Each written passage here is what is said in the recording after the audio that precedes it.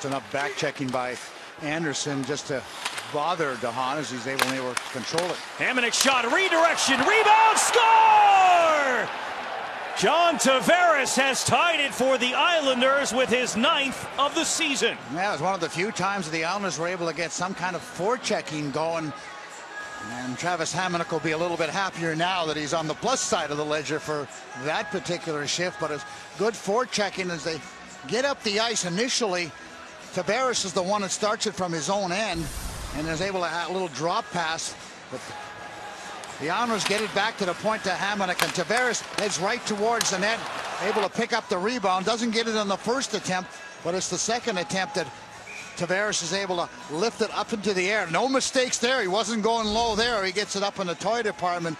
But it all started really, Brendan, Tavares in his own zone and got up the ice and then passed it to Bailey, and the Islanders continued right on there with a little offensive foray.